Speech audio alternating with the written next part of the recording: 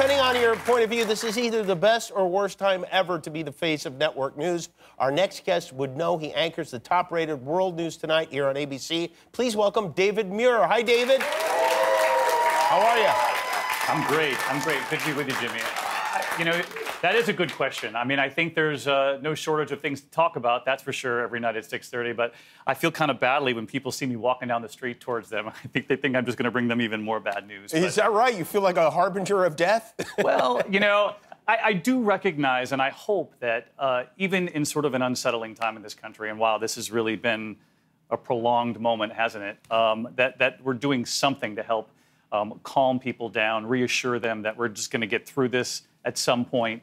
Um, but but it is it is I and I recognize it every single night. I try to remember who we're talking to, and we're in people's living rooms and kitchens, and I hope I hope that we've been calm and steady, and no matter how dire the facts are, that we're that we're reassuring people that we'll get to the other side of this. Well, obviously you have because a lot of people are watching, and the show's doing very very well. I think you were like the most watched show on all of television over the summer, which is an incredible thing, uh, you know, especially in this day and age where people are going and watching streaming and all these 24-hour cable channels, and uh, people are coming to you for the news. And the cheer, the tonnage is what I wonder about because I have a, you know, I don't have to cover the news of the day. We can do whatever we want. We choose to talk about what stories we want to talk about. But for you, like, I know you, are you still having to rewrite the broadcast moments before air all the time? I mean, it, it, you know, it used to be sort of, you know, an anomaly on a big breaking news night, but we, we really do sort of throughout the news every single night,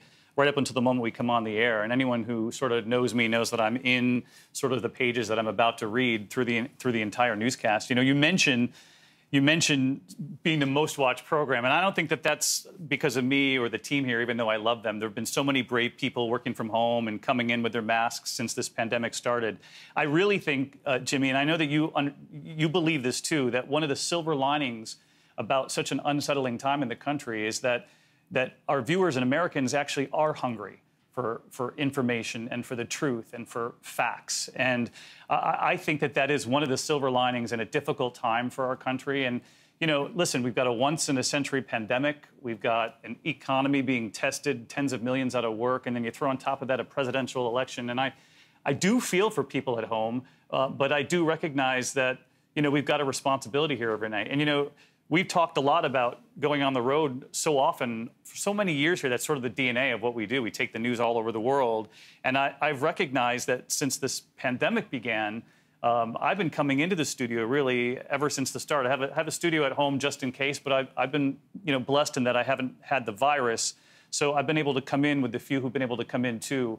Um, and, and I recognize that it's kind of, you know, the inverse is kind of true. I think the audience expected to see us out in the field for so long and, and now I, I, I sense that just showing up, being here at 6.30 every night, at least I hope, it, it, is sort of a calming presence and, and hopefully somewhat reassuring, um, given, as you say, uh, no shortage of news uh, yeah. from which to choose. I mean, like, you know, every night every night we enter the show three or four minutes heavy with, with news i'm sure there is an element of that and i wonder if does that mean you will travel less when god willing all this craziness subsides I think I think once we turn the corner on this, I'll be back. You're back there. out on the road. Yeah, yeah. I mean, I, I, it's it's funny. I've probably spent more time at the desk than than since I started not only in this role but but in years here as sort of like a, a, a traveling reporter. But you know, I know how interested in politics and in, in, and in the country you are, and you use humor to bring light to all these important issues. But I just have to say, in this time, I think it's really important for journalists uh, to have each other's back. And, uh, you know, for example, I, I, mentioned our dedicated team. Kristen Welker of NBC did such a great job with that final debate. I think she did a service to the country by, by helping to sort of navigate a more coherent debate. Um, more of a more of a debate over policy than certainly what we saw uh, in the first debate, and I think that we have to have each other's backs. I mean, this is an important time in our country, and, and the news matters. You uh, were the first network news anchor to interview the president at the beginning of the pandemic. We have a clip of that. Let's play that.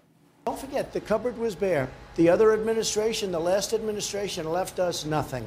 you know, you're three years into your first term. Yeah. You're now applying for the job again. What did you do when you became president to restock those cupboards that you say were bare? Well, I'll be honest, uh, I have a lot of things going on.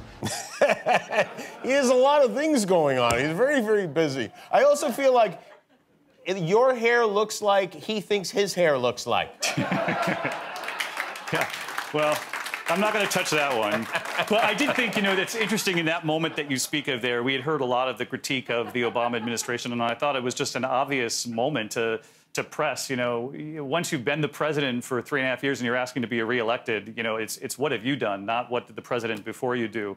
Um, and there was something else really interesting about that interview, Jimmy. You know, toward the end, I remember asking President Trump, you know, is he comfortable with the idea that this election uh, could very well be a referendum on his handling of the pandemic? And he sort of paused and he said, well, I am and I'm not. And, and I, yeah, you, you laugh, but I knew in that moment that the president recognized that that's very well what could happen. And, and look where we are just a week out from Election Day. Voters, issue number one is coronavirus, the pandemic, and everything that's interconnected, you know, the economy, jobs, um, healthcare.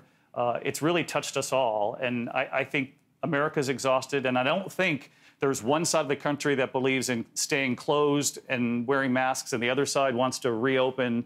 Um, I, I, think that most people are somewhere in the middle. They want to get the economy back up and running, but they want to be safe, and they want to know their kids are safe going to school. And Thanksgiving, you know, now a couple weeks away, what's that going to look like? Are grandparents finally going to be able to you know, see their grandchildren. I know the, the conversations that we have in, you know, in my family. So Yeah, right. um, we, we just have to remember that every night. I know you got a big night coming up on election night. Will you do me a favor? If Joe Biden, in the eventuality that Joe Biden wins, rather than saying ABC projects Joe Biden is the winner, will you say ABC projects Donald Trump is the loser? Well, I think I think that's where that open will play. We interrupt this special coverage for a message from Jimmy Kimmel. Okay. You've been pushing for that open for I'll years. be standing by. I will be standing right here at my desk, ready for your. Just give me the signal.